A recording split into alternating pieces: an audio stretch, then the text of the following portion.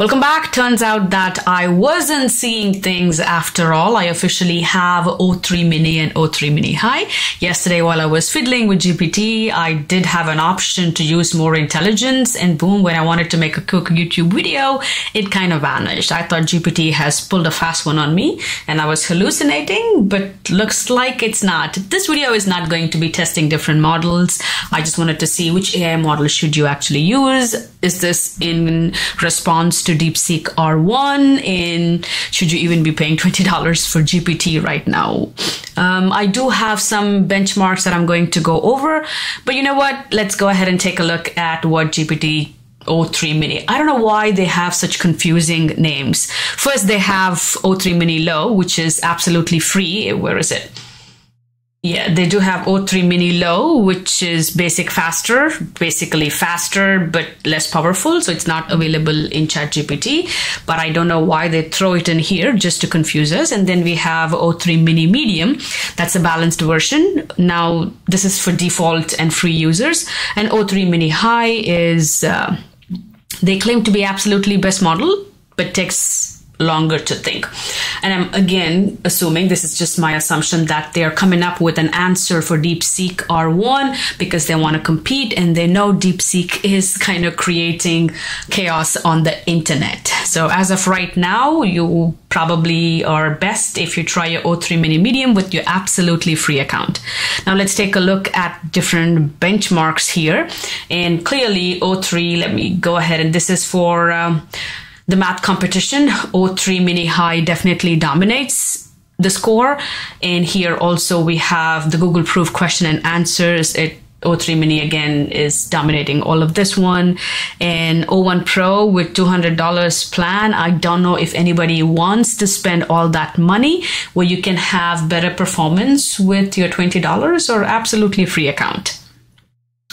And here is the Frontier Math numbers, the code force where they host all this coding um, competitions. And this is the ELO score, which is technically comparing uh, performance between the two LLMs or between the LLM models. This ELO score is used by chess players.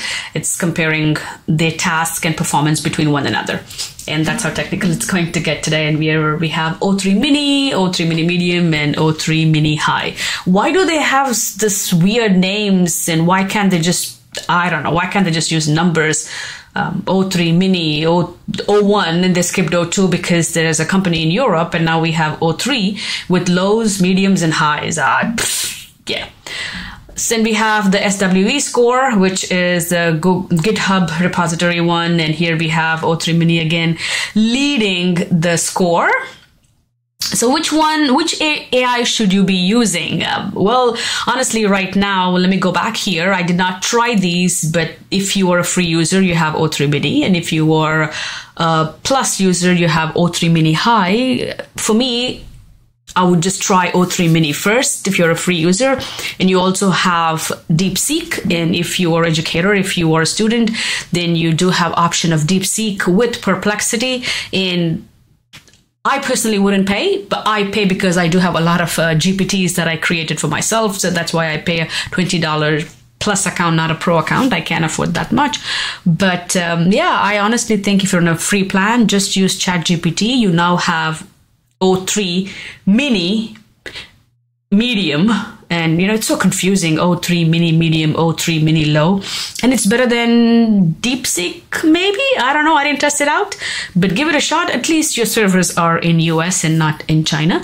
And there is no censorship. I actually don't know if i'm a pro or against censorship. At least i can see what they're biased about but if you're paying $20 a month, then switch to O3 Mini High. This is the best model available as of now when you're using ChatGPT. And here is the human performance evaluation in STEM. This is what I always look at because I'm a math instructor. And as you can see, O3 Mini is uh, mini medium. Oh my God. Mini medium is low. And here I have O3 Mini medium for non-STEM. Scrolling down, this is O1, O3 mini. Why? Why is this so confusing? Why can't it be as simple as possible? I cannot imagine explaining this to my students and I'm getting confused myself. Um, as of now, I don't have O3 mini high scale. Well, I only have o, O1 mini and O3 mini medium here. I honestly feel like this is a tongue twister. So let's go back here and here you have O3 mini, O3 mini high. It really clearly says great at coding and logic.